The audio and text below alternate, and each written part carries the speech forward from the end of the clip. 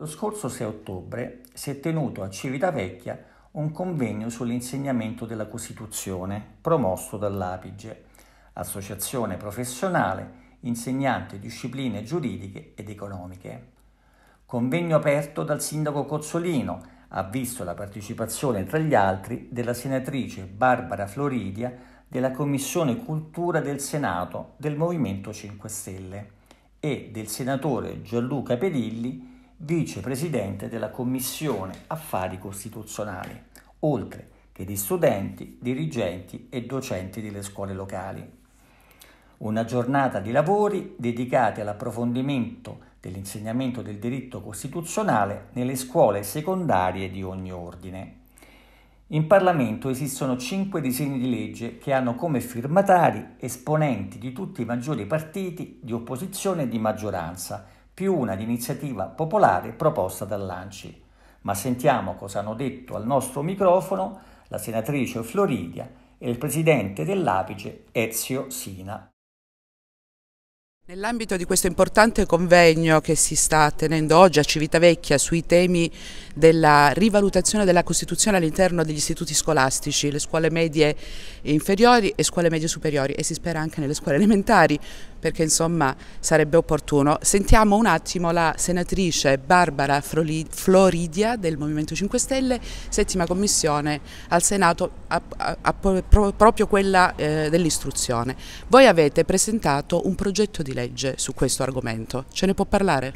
Sì, ehm, abbiamo depositato un disegno di legge al Senato che riguarda proprio l'educazione, l'introduzione dell'educazione alla cittadinanza attiva e responsabile, strumenti per la democrazia diretta nelle scuole, in tutti gli ordini di scuole, quindi dal primo ciclo alla scuola secondaria di primo e secondo grado, perché noi riteniamo che sia importante ridare dignità eh, alla, a questa materia nelle scuole perché eh, lavorare con i ragazzi per quanto riguarda l'educazione, la sensibilità ambientale, i diritti umani, insomma tutti quei valori che sono fondanti della nostra Carta Costituzionale sia significativo, necessario e anche urgente.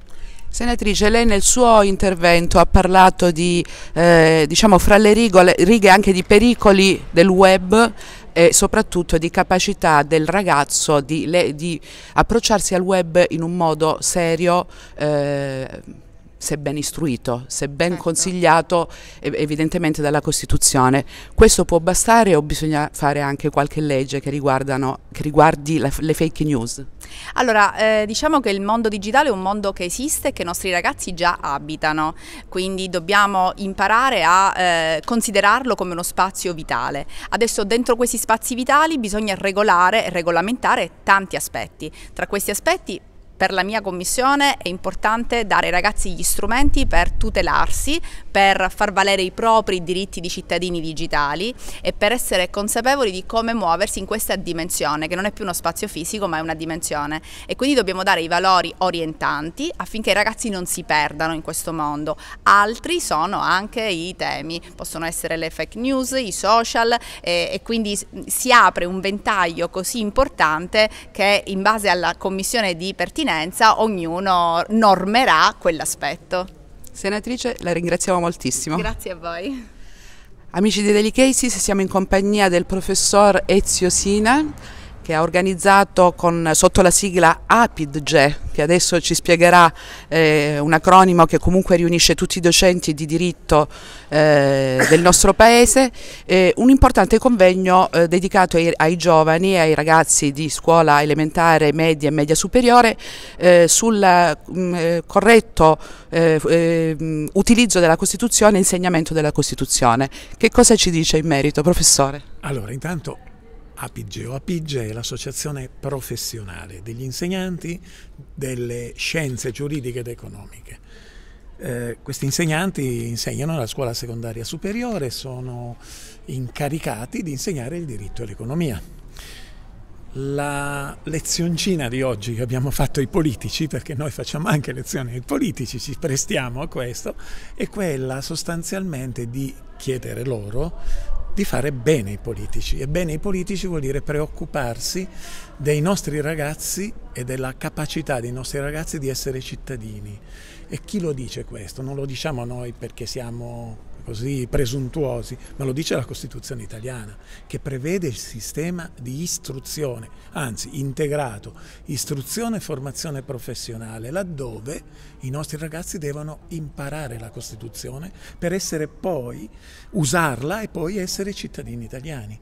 Noi invece rimproveriamo un grosso analfabetismo italiano, oggi l'abbiamo certificato grazie all'intervento di Alma Diploma, sì. che con questo scoop direi eccezionale ha certificato che 84% su 100 ragazzi che escono, ed è certificato mica da poco, 84 su 100 sono analfabeti giuridicamente, quindi vuol dire che non sono in grado di badare a loro stessi rispetto alla polis, alla città.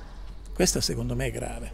Quindi la vostra proposta in un momento in cui si muore di selfie, in un momento in cui i genitori e non solo i ragazzi aggrediscono gli insegnanti, in un momento in cui eh, la Costituzione praticamente ce la siamo messa sotto i piedi e che la Costituzione venga eh, divulgata. Prima studiata, perché l'hanno divulgata. La precedente ministra, un ministro, quello che dir si voglia, ha mandato 8 milioni di libricini sulla Costituzione, dove sono? Chi li ha studiati, chi li ha imparati? Se l'84% non sa neanche la differenza tra Presidente del Consiglio e Presidente della Repubblica, ma quello è secondario, non l'ha proprio letta, oppure l'hanno presa, l'hanno messo lì, almeno l'avessero portato a casa. Negli scaffali polverosi delle scuole esistono questi libri. Questo non è modo di, di, di fare, eh, di, di, proporre ai cittadini italiani, ai futuri cittadini italiani, lo studio e la percezione di essere cittadini italiani. Certo. Un'ultima domanda professore, eh, i numeri dei professori di diritto in Italia, non quelli di storia, non quelli di filosofia, dei professori di diritto. 18.000, 18.000 cioè 18.000 di questi signori, ce ne sono di più perché sono poi quelli cosiddetti precari eccetera, 18.000 sono regolarmente stipendiati dallo Stato. Di questi 18.000 che insegnano regolarmente il diritto, più o meno sono 10.000, quindi 7-8 di loro sono stati, eh, diciamo così, assoldati in questa specie di carrozzone, di Masaniello, non lo so che cosa, e sono stati inquadrati nelle scuole. L'autonomia scolastica, quindi la discrezionalità di un dirigente, di un collegio dei docenti, eccetera, deciderà cosa fanno, ma molto spesso sarà supplenza supplenza, oppure pensare al disabile di turno, cioè non è questo il modo di fare scuola, di fare istruzione, l'articolo 34 della Costituzione va in un'altra direzione, ecco perché noi siamo molto duri, decisi, determinati, non ne abbiamo più, non abbiamo più voglia di essere presi in giro. Grazie professore. Grazie. Grazie. Grazie.